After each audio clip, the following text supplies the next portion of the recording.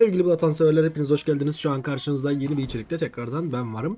Ee, bugün ne mi yapıyoruz arkadaşlar? Bugün oyunda uğraş arayanlara yani bir şeyler arayanlara bir şeyler biriktirmeye ya da oyundaki her şeyi yapmak isteyen insanlar için oyuncular için e, bugünkü konumuz journal kısmındaki collectibles'lar. Yani bunların hikayelerini toplama. Arkadaşlar bildiğiniz üzere bunlar haritada bir yerlerde. Ben yeni hesap açtım demiştim. Ee, bu hesabımla birlikte hikayeleri tekrar toplayacağım. Ve bu e, konumları, lokasyonları size göstereceğim. Siz de bunun sayesinde buraları açabileceksiniz. Vakit kaybetmeden arkadaşlar kırmızı itiraflar, Co- Confessions in Red storiesini, hikayesini sizinle birlikte lokasyonları göre göre açacağız. Hadi vakit kaybetmeden geçelim. Birinci lokasyonumuz arkadaşlar Art Galeri. Herhangi bir yerini buradan seçerek işaretleyebilirsiniz. Yakın bir yeri seçin. Birinci konumuz burası. Kırmızı itirafların birinci parti için buradaki bir lokasyonu seçmemiz gerekiyor. Kendisini burada bulacağız arkadaşlar. Herhangi bir lokasyonumuzu seçtik arkadaşlar. An dediğim gibi şu kısma gideceğiz. Burada gözüküyor mu? Evet gözükecek kendisi. Yeni gelen sistemde gözüküyor ama biz bunları bulmak için çok uğraşmıştık. Bunları direkt olarak gidebileceğiniz yerler için yakın olduğunuzda gözüküyor. Bunları unutmayın arkadaşlar. Normalde e, bu yeni görevler, görevler bu şekilde gözüküyor ama yakın olduğunuz zaman bunlar ortaya çıkıyor.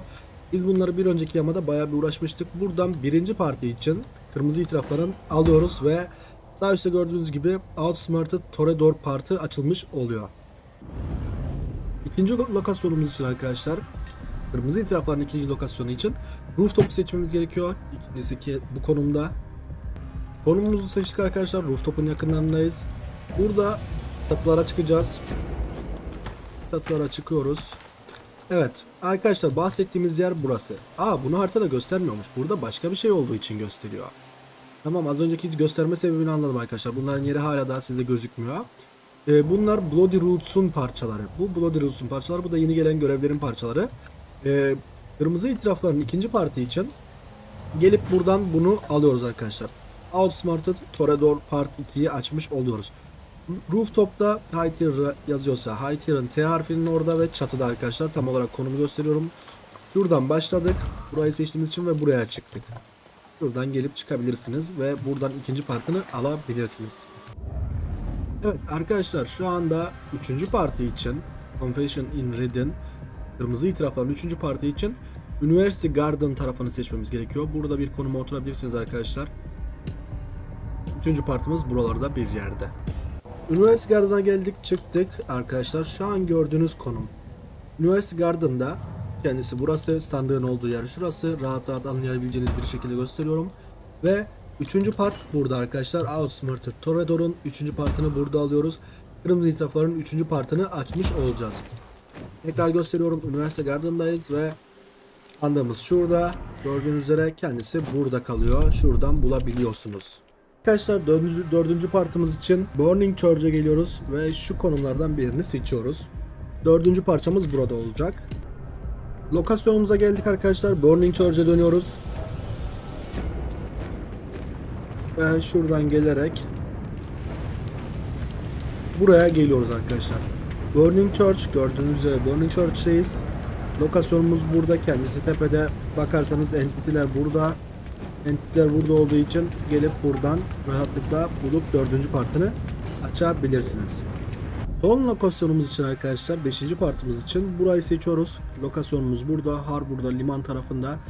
Burada herhangi bir yeri seçebilirsiniz. Ben şurayı seçeceğim çünkü entitiler var. Buradan daha rahat kolay bir şekilde geçebilirim.